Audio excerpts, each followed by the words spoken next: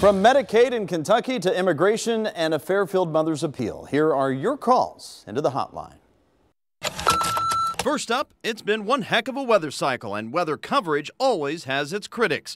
First up, Jeff Martin in Milford. During this inclement weather, all the news stations, TV stations are telling us to stay off the roads unless you have to. Yet they decide to put cars out on the road to tell us that the roads are snowy and icy. All you have to do is open your window and look out your house and you'll see that. Then there's Easel in Hamilton, who appears to be just looking out for our budget. I think it's a big waste of money for Channel 9 to have somebody uh, driving somebody else around just to look at the, the conditions of the road. Typically, our crews are sent out in pairs. When it comes to the 9 First Warning live drive, it's always safety first, so the driver can concentrate on the road and the reporter can, well, report. In Kentucky, a new law requires able bodied adults to get a job if they want to qualify for Medicaid. That plan laid out by Governor Matt Bevin didn't sit well with everyone. I disagree with it wholeheartedly. I think it's wrong. I think it's discrimination for people who's on disability, for the governor to try to make them work. But at least one caller thinks it's a positive thing. I think it's a good job because I'm, I'm so tired of taxpayers having to put out money for people that are able bodied and can work and don't work.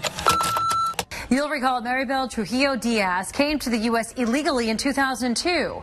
Today, a federal appeals court ordered U.S. immigration authorities to reconsider her case. Ever since this story first surfaced, your calls have flooded the hotline, and the latest development once again brought up opinions on both sides. I definitely believe that Maribel Trujillo's deportation should be reversed. And yes, that lady should be returned to the United States as soon as possible. It's wonderful that Maribel's case would be reconsidered and that she might be allowed back into the country. My recommendation are for the immigrants to get their little butts in line and get on the list to make it legal.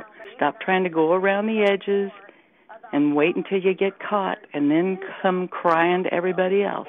The Mexican illegal should not be allowed back into this country. The Mexican woman that was deported, no, she should not be let back in. She should have got her citizenship a long time ago. She had all those years to do it. And finally, a Bengals fan had an idea to solve Maribel Trujillo's situation for good. Let Marisol come back and send Mike and Marvin in her place.